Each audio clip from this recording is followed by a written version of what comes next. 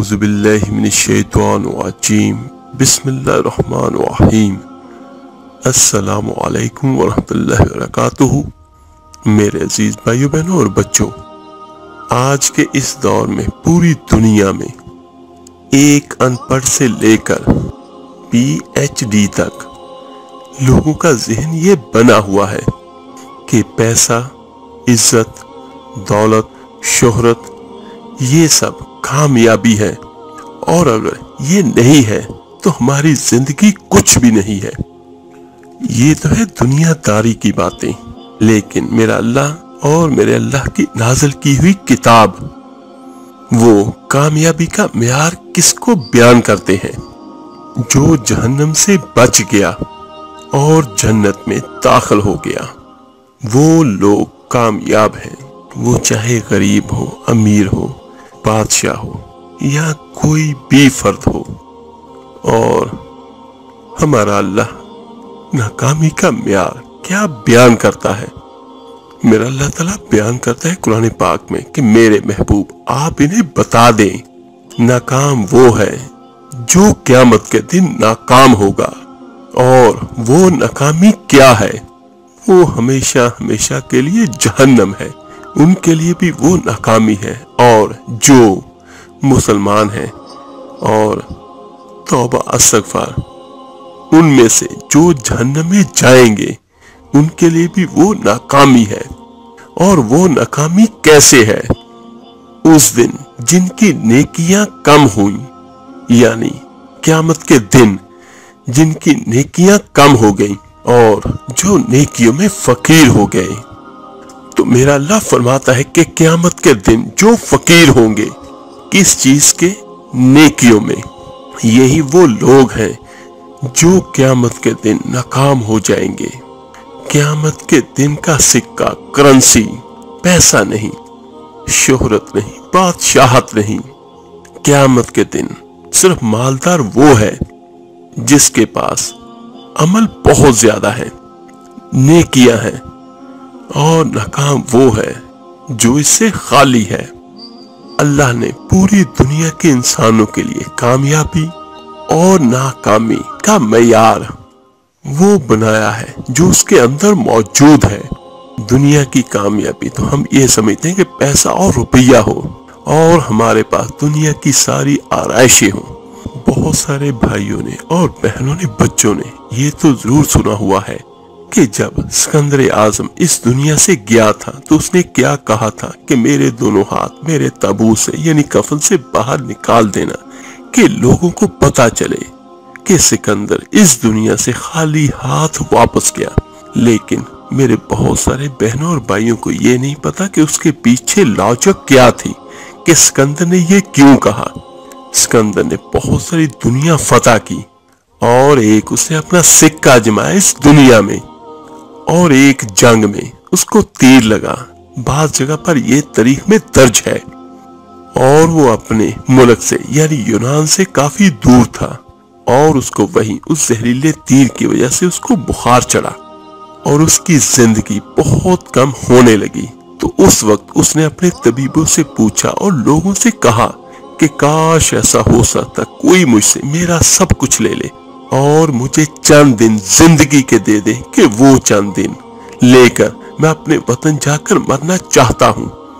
और जब उसे वो दिन नहीं मिले तो आखिरी दिनों में उसने फिर ये वसीयत की थी कि जब मैं मर जाऊँ तो मेरे दोनों हाथ तबू से या कफन से बाहर निकाल देना कि लोगों को पता चले कि सिकंदर इस दुनिया से खाली हाथ गया।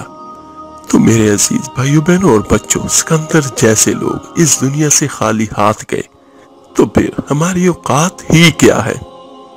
ये दुनिया सिर्फ़ एक बार मिलनी है, यानी हमारे दौर में इस वक्त जो चल रहा है, उसमें यही कहते हैं कि अगर बंदे के पास बहुत ज़्यादा मालो दौलत हो, रिजक की फरावानी हो, उसके प्लाजे हो, मकाने हो तो वो बहुत ज़्यादा बेहतर है अच्छा है और वो अमीर तरीन है।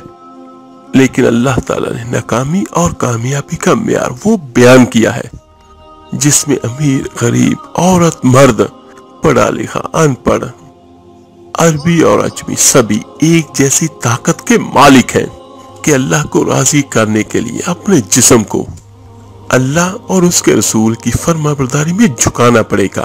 तो ये कामयाबी है। अब उसमें अमीर और गरीब का कोई फ़र्क नहीं। जिस्म तो अल्लाह ताला ने सबको दिया है। और यहाँ पर एक दूसरी बात और मैं क्लियर कर दूँ। कुछ लोग जो किसी वजह से मजबूर होते हैं, इबादत को सही तरह से सरंजाम नहीं दे सकते। या किसी भी तरह की कोई मजबूरी है, लेकिन हमारा इस्लाम क्या कहता है कि अमलों का दारोमदार नीयतों पर है। जिस बंदे की नीयत जितनी अच्छी होगी, अल्लाह ताला के हाँ वो ज़्यादा मकबूल होगा। इसकी एक छोटी सी एग्ज़ाम्पल मैं आपको बयान करता हूँ कि एक गरीब आदमी उसकी जेब में या उसके पास सिर्फ़ एक सौ रुपया है तो उसने उसका निसफ यानी पचास रुपए उसने अल्लाह की राह में खैरात कर दिए, सदका कर दिए, और एक अमीर तरीन आदमी है। उसके पास करोड़ों है, अरबों है। उसने चाहे एक लाख भी किसी को खैरात कर दिया। तो उसने अपनी प्रॉपर्टी का बहुत छोटा हिस्सा उसने अल्लाह के रास्ते में दिया। लेकिन जो गरीब था, उसके पास एक सौ था, उसने पचास दे दिए। तो उसका क्या बना कि उसने अपना आधा माल का हिस्सा अल्लाह के रास्ते में खैरात कर दिया और अल्लाह ताला हर चीज़ का बेहतर जानने वाला है और हर चीज़ का बेहतर बदला अता करने वाला है। और क्यामत के दिन जो इज़्ज़त है, उसका तल्लक दुनिया की किसी भी चीज़ के साथ नहीं है। दुनिया में चार बड़े बादशाह गुजरे हैं। एक सिकंदर जिसका पहले मैं तस्करा कर चुका हूँ। यह सिकंदर हज़रत ईसा से भी पहले था। उसके बाद सुल्तान महमूद गजनवी रहमतुल्लाह और चंगेज खान और उसके बाद तैमूर। ये चार दुनिया में बड़े बादशाह गुजरे हैं। यानी इनकी हुकूमतों की वसत बहुत ज़्यादा थी। सुल्तान महमूद गजनवी रहमतुल्लाह 416 हिजरी में इनका इंतकाल हुआ। 416 हिजरी 1974 में कोई एक हज़ार साल के करीब गुजर चुका था। गजनी में जल्जला आया। तो हज़रत सुल्तान महमूद गजनी की कब्र भी बैठ गई। उस वक्त ज़ाहिर शाह मरहूम की हुकूमत थी तो उन्होंने हुक्म दिया कि कब्र को दोबारा बनाया जाए। तो जब कब्र को खोला गया, ताकि दोबारा बनाया जाए तो सारे लोग ये देखकर हैरान हो गए कि हज़रत महमूद गजनवी रहमत का कफन भी मैला नहीं हुआ था और उनका जिस्म बिल्कुल सही सलामत पाया गया। और ये तारीख ने देखा है ये अल्लाह का निज़ाम है कि चंद सालों के बाद कपड़ा भी अगर ज़मीन में होगा तो वो भी गल जाएगा। लेकिन उनके कफन का कपड़ा भी मैला नहीं था। हज़रत महमूद काजनवी रहमत कोई इमाम मस्जिद नहीं थे और वो किसी खान का के पीर नहीं थे और वो शेखुल हदीस भी नहीं थे और वली अल्लाह भी नहीं था कि किसी कोने में बैठकर वो अल्लाह अल्लाह करते हो। वो दुनिया के चार बड़े बादशाहों में से एक बादशाह गुजरा है और उनकी हुकूमत का दुरानिया तकरीबन तैतीस साल के करीब था। तैतीस बरस की हुकूमत करके और हज़ार साल के बाद कब्र फटी तो उनका जिस्म बिल्कुल ऐसे था जैसे अभी फौत हुए और कोई उनको अभी अभी दफना कर गया हो। तो उससे क्या मालूम होता है, हमारे लिए क्या सबक मिलता है? कि दुनिया की तरक्की हमें आखिरत की कामयाबी से नहीं रोकती। अपना आप गलत इस्तेमाल इंसान को आखिरत में भी नाकाम करता है और अल्लाह की बारगाह में भी उसे जलीलो ख्वार करता है और अपने जिस्म का सही इस्तेमाल वो दुनिया में भी उसको अल्लाह की रजा हासिल करता है और आखिरत में भी कामयाबी के झंडे वो गाड़ेगा। इनशाला तो अल्लाह ताला ने कामयाबी और नाकामी का म्यार जो कुरान पाक में बयान किया है, वो बिल्कुल मुख्तलिफ़ है। तो मेरा अल्लाह क्या फरमाता है कि कामयाबी का सिर्फ़ एक ही रास्ता है, जो इस्लाम है। इस्लाम की बुनियाद में पाँच बड़े पिलर बनाए गए हैं। कलमा, नमाज़, रोजा, जक़ात और हज। ये तो बुनियाद है।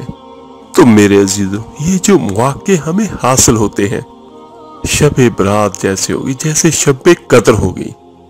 यानी शबान का निसफ पंद्रह शबान। ये बुनियादी तौर पर अल्लाह ताला की तरफ़ से दिया हुआ मौका होता है कि चलो, तुम्हें एक और मौका दिया जाता है। इसमें पाबंदी कोई नहीं। जो चाहे वो इबादत करे, जो चाहे वो ना करे। लेकिन अल्लाह की तरफ़ से मौका हमें मिलता है कि चलो, एक और मौका मिला। और अपने आप को तुम क्लियर कर लो। तो इसमें अल्लाह क्या करना है, कुछ भी नहीं। सिर्फ़ अल्लाह से सच्चे दिल के साथ तौबा करो। तो अर्श का मालिक पिछले सारे गुनाहों को अपनी रहमत से, अपने कर्म से, अपने फजल से माफ़ कर देता है।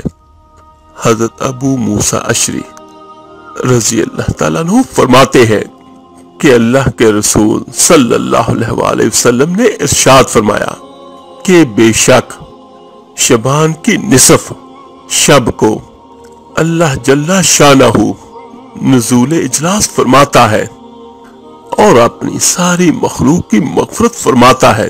सुबहान अल्लाह लेकिन चंद लोगों के बारे में फरमाया गया कि वो ऐसे बदकिस्मत है कि इस बबरकत रात को वो नहीं बख्शे जाएँगे। बाकी अल्लाह ताला इस रात को तमाम गुनाहगारों को जहन्नम से आज़ाद कर देता है। अम्मा आयशा रज़ी अल्लाह ताला अनहा से मरवी है। वो फरमाती है कि एक रात मैं बेदार हुई और मैंने अल्लाह के रसूल सल्लल्लाहु अलैहि वसल्लम को अपने बिस्तर पर ना पाया तो मैं हजूर को ढूँढने निकली और अल्लाह के रसूल सल्लल्लाहु अलैहि वसल्लम तशरीफ़ लाए। तो अल्लाह के रसूल सल्लल्लाहु अलैहि वसल्लम ने शाद फरमाया, आयशा बेशक, आज की रात वो बबरकत रात है कि अल्लाह ताला निसफ शबान की रात को नजूल फरमाता है आसमानी दुनिया पर और बनु कलब की बकरियों के बालों के बराबर गुनागारों को जहन्नम की आग से आज़ाद करता है। कबीला बनु कलब अरब में एक ऐसा कबीला था जो बहुत ज़्यादा भेड़ बकरियाँ पालते थे और उनकी बकरियाँ, यानी उनके रेवड़, बाकी लोगों की निस्बत ज़्यादा होते थे। तो इससे मुराद ये है कि कसरत की तरफ़ इशारा दिया गया हमें कि अल्लाह ताला इतने ज़्यादा गुनागारों को जहन्नम की आग से आज़ाद करता है।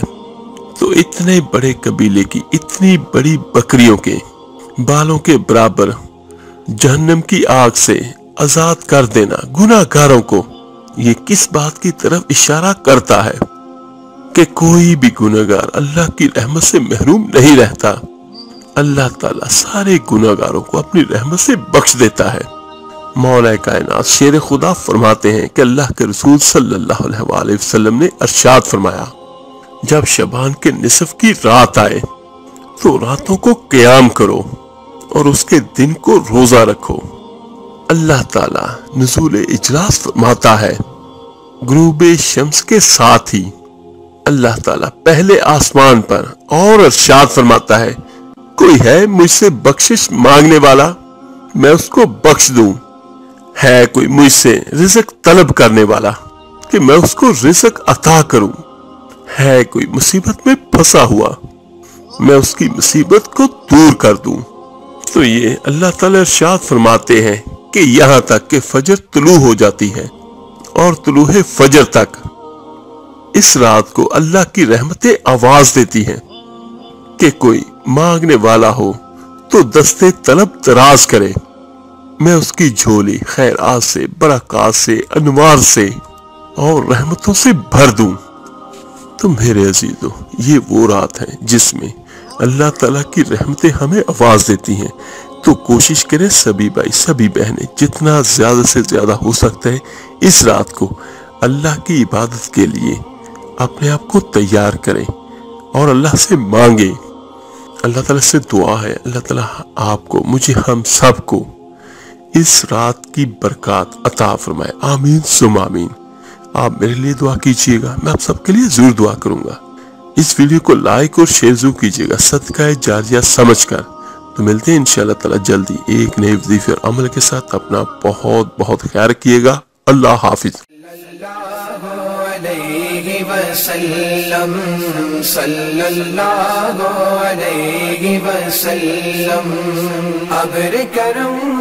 गे